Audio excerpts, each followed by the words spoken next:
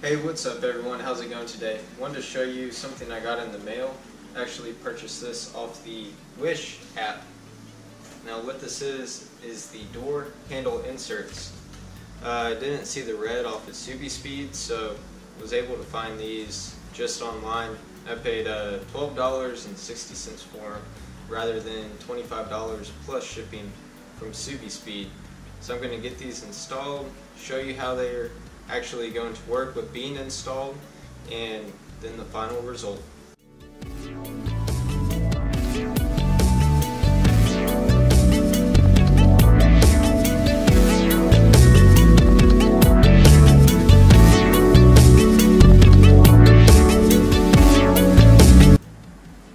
Here's the emblem now.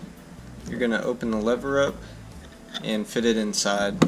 You want to remove the 3M tape on the back and I do have these wrapped gloss black. Uh, all you do is just get a little bit of vinyl, cut it out with a little bit hanging over. Whenever it's applied, just fold it on the back side here, and that's pretty much it. So let me get this tape removed, and I'll show you how it's applied. Now that I have the backing removed, simply get it lined up, pull this handle back, and fit it in here. It does have a little bit of wiggle once it's put in, so you can line it up kind of how you like it. And once it's in here you just want to press down to get it seated firmly.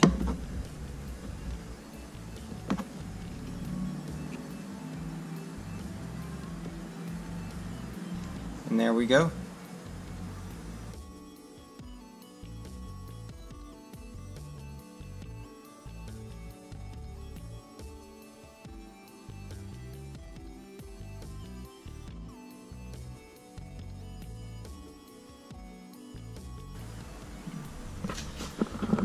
So this install was pretty quick.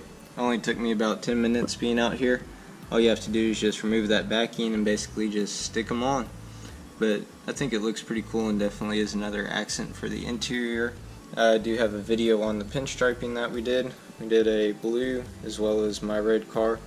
Uh, it turned out pretty cool. Still liking it a whole lot. As well as I just think that these add to the interior that I have going on, which is a red and black theme all around really enjoying it, still enjoying the car a whole lot. Make sure to stay tuned in for some future videos I have coming up. And as always, happy driving and enjoy.